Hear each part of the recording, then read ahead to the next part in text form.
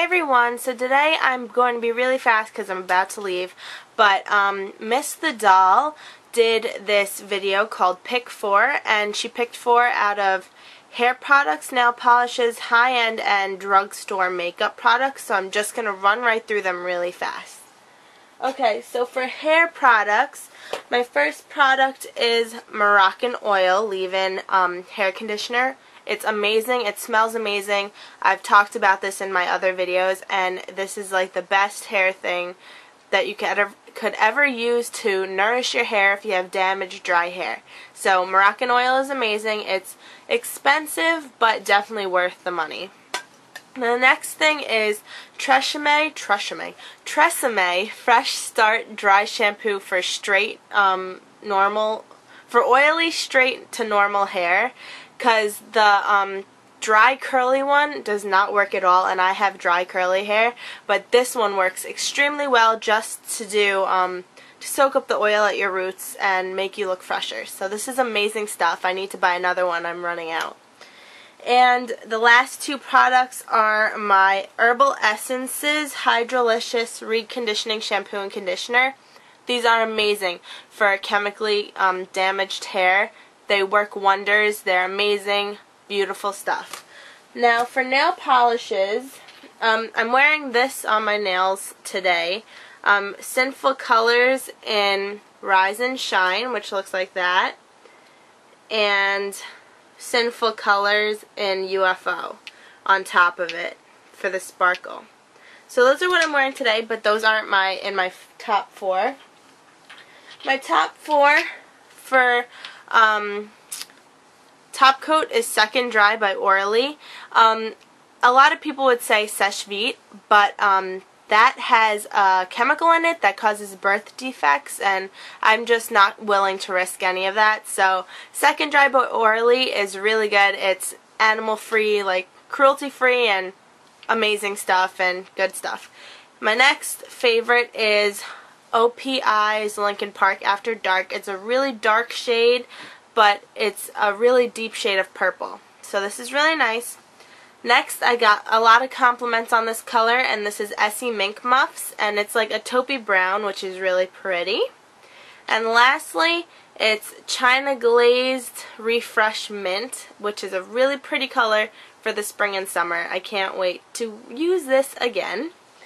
Okay, now for drugstore makeup, I would have to say all the Wet n Wild um, eyeshadows. They're amazing. Definitely go out and purchase some. They're not expensive at all. This one is on Walking on Eggshells, and this is the one I would recommend to most people because the, this is the most um, versatile and you could use this every day. The next thing is my L'Oreal Paris Lineur Intense Liquid Liner, and along that same line is the eyeliner that's in this um, one. This one's a liquid one, the other one's the pencil, and that one's really nice too.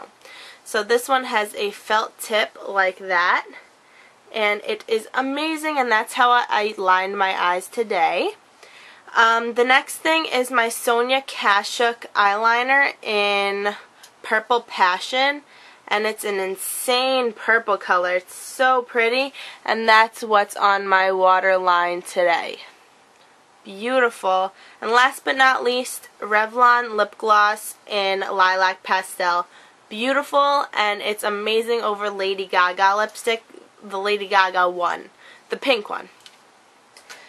And last but not least, my um, high-end makeup top fours um, top four. Um, this is my MAC eyeshadow palette. I have three, but this is my neutral palette. And I would have to say all my neutral colors are my first choice. They're amazing. I use them all the time, and it's just beautiful. I'm sorry that this is going to be redundant because MAC is what I usually use all the time. So the next pick would be my MAC Lady Gaga lipstick and also my MAC Viva Glam 5 but that's over there. I forgot to pick it up. So the lipsticks are amazing. And third is my MAC Plushglasses. Amazing stuff. This one is in Big Baby. I love it. It plumps your lips and it's amazing formula and I love them.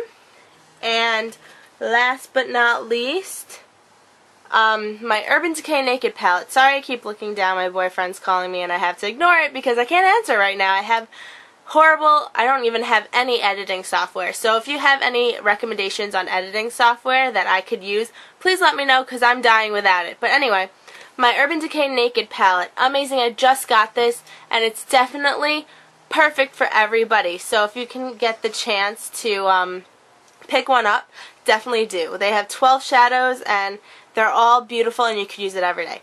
Anyway, thank you for watching. Thank you to all my subscribers and please subscribe. Sorry that I rushed so much. Okay, bye.